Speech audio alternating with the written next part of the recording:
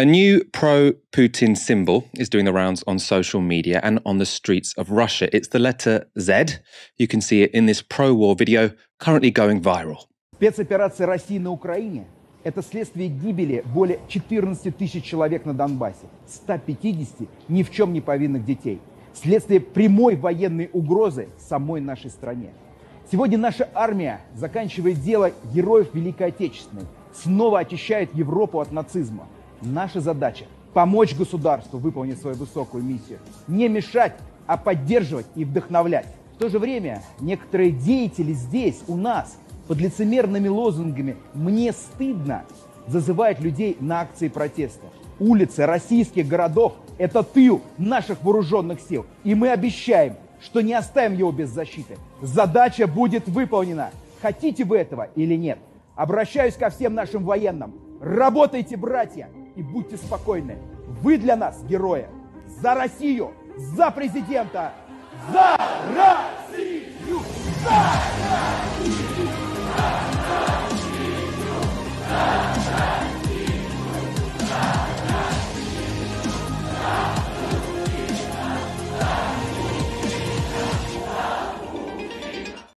The Z was initially painted on Russian armored vehicles moving into Ukraine. Military analysts have suggested that the point of the Z symbol was to protect Russian equipment from friendly fire, with different markings indicating which infantry they belong to. Others have suggested that it stands for Za Pobedi, which means victory. But now the symbol is being used to express general support for the war on Ukraine. Russian drivers have started displaying the Z on their cars. This is a pro war rally outside Moscow shown on Russian state TV. You can see the Zs emblazoned on the windows. And business owners have attached it to their vehicles to show that they're Putin supporting. This is a van for a funeral home, though the exact location within Russia is unconfirmed. Here's the symbol again, this time painted on a bus stop in St. Petersburg, and it's even appearing at pro occupation rallies in Serbia. We can also see the Z on an ad in the St. Petersburg metro. The slogan says, We don't leave our own. And these are terminally ill children and their parents outside a hospice in Kazan. They've lined up to form an enormous Z. We can also see now an image which shows Russian soldiers form the letter Z from the badges of killed Ukrainian soldiers. Really grim. And Russians are also being encouraged to display the symbol on their clothes. This is Maria Butina, a former Russian spy who was convicted on espionage charges in the US in 2019 before being deported back to Russia later that year. So, encouraging Russians to wear the Z on their clothes. The symbol has also appeared on the international sporting stage. Um, Russian gymnast Ivan Kuliak won a bronze medal on the parallel bars at the Gymnastic World Cup in Doha, but he was beaten to the gold by Ukrainian Ilya Kovtun. Before stepping onto the podium, Kuliak taped the Z symbol to his chest and stood smirked next to the Ukrainian champion. He's facing disciplinary action from the sport's governing body. It's an attempt to market war that's what it is. Uh, it's clearly organized or administered from from Moscow, from the presidential administration. We've seen similar, uh, seemingly bottom up things happening across the country for many political cycles, political um, issues happening in Russia. Um, I don't know the the size of that movement. I mean, we are seeing, of course, it you know appearing in uh, in the streets of almost every city. You have some celebrities um, using that symbol, but again, this is nothing compared to your usual. For instance, we only a few years had a somewhat legal procedure that was called referendum uh, about the constitution. Not very legal, not very referendum, just a kind of questionnaire whether you like yeah, the amendments in the constitution. And there was a lot of support by celebrities, TikTokers, YouTubers.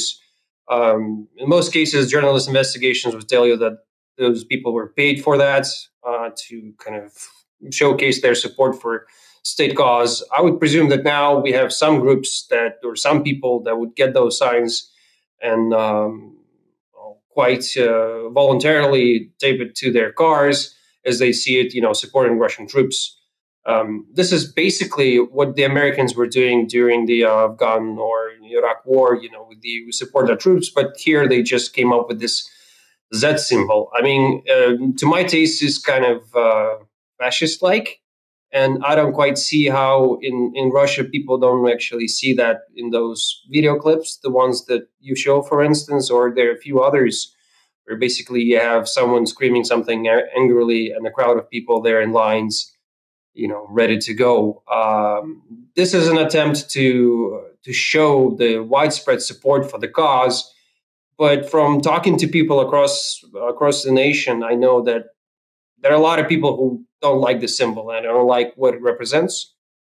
Uh, but again, as I've noticed before, there's the situation of fear, and uh, getting into conflict over these Z stuff is something that a lot of people will try to avoid. I mean, I, I suppose you've said you, you, don't see how people don't realize it looks a bit fascistic, but is is that potentially the direction this is going in? Because I mean, one interpretation was that Putin wanted to win this war quite quickly. He didn't think there would have to be a sort of popular mobilization and for Russia to enter into a sort of total war scenario. But now it looks like it's going to be a bit tougher. He's going to need more people to fight. It's going to take more resources. The sanctions are going to kick in. And now he does need to create a sort of total war society whereby there is sort of widespread buy into this war. He can't just say, oh, it's something that's going on in there in Ukraine. It's going to be a special operation with just a few soldiers. We'll win it quickly. Don't worry about it. Now he has to say, okay, this is a massive war. You're all going to have to be involved. Let's get involved. Is is this the kind of operation we're going to see now from from Putin going forward?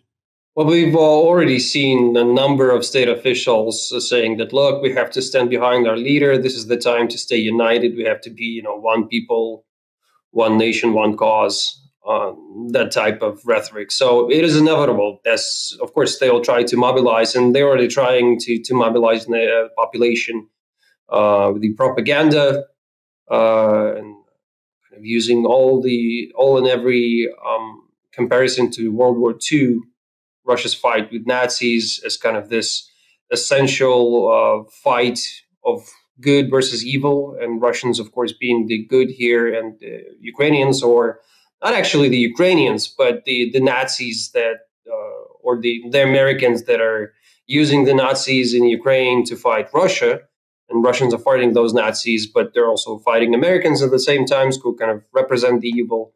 So they're trying to to get those narratives into the um, to the widespread public, and by showing their support, it kind of creates the illusion that Russian society is ready to endure what it has to endure. Well, in fact, I think, and I know for a fact that the the vast majority of Russians have no idea what is coming, at least in terms of the uh, economic cost of the war, because sanctions introduced have been absolutely unprecedented.